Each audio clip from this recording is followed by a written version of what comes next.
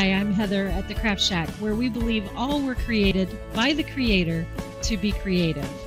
Join me now for another art adventure. Hello there, welcome to this art adventure. I am painting on a tote bag today. This was actually a live stream that I did over on Twitch where I am live every day, well, Tuesday through Friday anyway, at 12:30 Eastern Time. And during this time, I wanted to talk about these canvas tote bags that I received from Kelz Kidz. And these are so much fun to put together for any occasion, and they have so many uses. But I was really focusing on reusable shopping bags. And I am showing you here how I folded it so that way, and then ironed it so it was really easy to uh, paint on but then um, I wanted the design to go off the side at the side seam and go to the front and to the back. And so that's why I folded it this way. And then I inserted this cardboard piece that I just basically fit to match the shape of the bag. Using DecoArt Americana paints and the um, fabric medium that they also sell at DecoArt. I just made a little mixture puddle of the paint and then start with my design. And I really wanted to do olive branches. I think olive branches are kind of a pretty design and they can be real elegant looking. And they're kind of popular in the kitchen. And so with a small, thin brush, liner brush, I'm just applying the paint to the canvas. Now you'll notice, now this is exactly like it would be if I was painting a canvas, um, a stretched canvas over, you know, a bar, like a wood frame or something like that. But the difference is, is that with something like that, you normally prep the cam the canvas itself, the surface, with something called gesso. And I did not do that at this stage of the game. This is early on painting the tote bags, and I had not, I had um, experimented, I guess, with using white gesso, and that was all that I had. So um, I didn't, I want that natural canvas color, which is one of the things that I love about these bags, is that they're this natural canvas, so they kind of have like little specks in it and everything. And I don't want to cover that up with white gesso. But um, after painting this bag, I realized I could use clear gesso, and in all my future bag paintings, I try to use clear gesso to um, prep the surface. But you'll notice how it takes me quite a while and quite a bit of paint to um, to go ahead and get that image on there. You'll see I've just many, many brush strokes to get that paint onto the canvas. And that's because it's an unprepped surface. So tip for you, if you're going to be doing a canvas bag painting of your own, you'll want to start with a clear gesso if you want to keep that canvas color um, as a part of your design. Or if you are okay with it, you could do a white canvas or white gesso or a black gesso to prep the surface.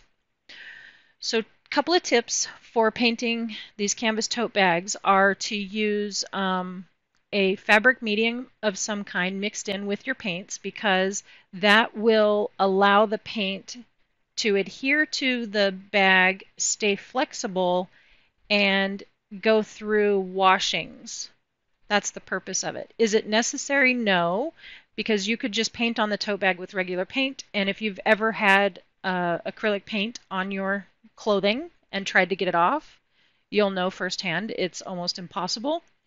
But if you really want the image to stay preserved and to be able to go through the washer dryer portion of life, which with these um, uh, reusable shopping bags, that is definitely what I wanted to do. So um, it's important that you use a fabric medium so that it will remain flexible, the paint will remain flexible, and that it will stay in the fibers of that canvas tote as long as possible through many washings. Now I kind of speed up this video in the parts where uh, it was pretty much the same repetitive thing over and over again. I mean, I, I would hate to make you sit there and watch every bit of it, but if you do like watching a process from beginning to end, I suggest taking a look at my live streams. I have um, uploaded a few of those live streams to my YouTube channel from Twitch, and I'm putting together more of these shorter videos for those who don't like to sit through an hour long or more um, viewing session, which I fully understand that. That makes total sense. But if you do like to see the beginning to the end and then have that chit chat camaraderie with an audience, um, to be able to sit down with with myself and my co-host Jules and whoever else is joining us and be able to have the laughter and all that stuff. If you're into any of that, I suggest suggest checking out our live streams over on Twitch. They are a lot of fun and um, and you never know. We get into all kinds of stuff over there. So with a round a it, not a round brush. It's called a filbert. It's got a rounded, sort of tapered edge to the brush tip. I am just basically making C strokes, a, a, a crescent to the left and a crescent to the right, and that's creating this olive shape. And I'm kind of mixing different grays and greens to give the leaves, the olives, and um, and the stems. Just varying those different greens, grays. There might even be a little bit of blackness too, but I'm not sure. I don't remember if I used black or not, but the idea is to have those olives sort of hanging down. You know, you got to give, you're kind of giving like a visual weightedness to that branch. And then remember that that one on the left is actually the front or back of the bag, and it's actually pointed down, even though it right now it looks like it's pointed up in the air a little bit. When you put the bag the right way, with the seams to the sides, then that, that branch is sort of pointed down. So,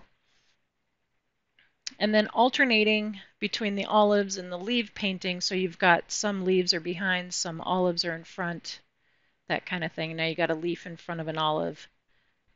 Just adds to it. Kind of a real simple painting, but um, hopefully it's something that inspires you to do. Now I try really, really hard when I am painting for the camera to keep everything in the right, you know, same frame and not twist it around and everything, but sometimes it's just hard to get those angles or those twisty flowy shapes. So you do have to twist it every now and then. I hope that's forgivable.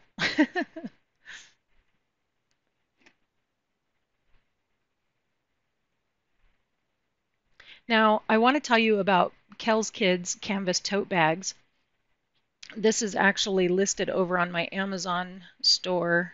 Um, they are a great company, makes all of their bags um, very awesome. They're heavyweight. They've got great stitching.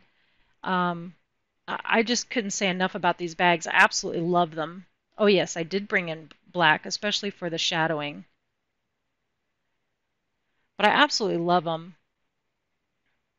They have a great, um, these canvas tote bags, they have like a, a great quality to the canvas, a great weight to the canvas, so they feel like you could load them up with groceries or, you know, whatever you need to take to the next place and not worry about the handles coming apart or anything. And they're a great size. They've got quite a bit of space in them as well, so they really are great bags.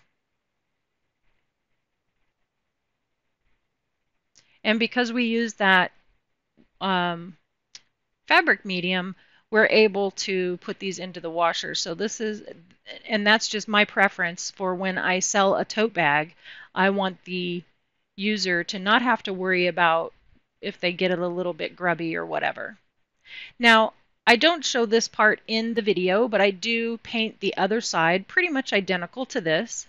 And so then when the bag is opened, you'll have two branches sort of coming out from the sides and going into the middle. One will go down and the other one will go up. So it's quite a neat design because right now on this side, I've got them both going down.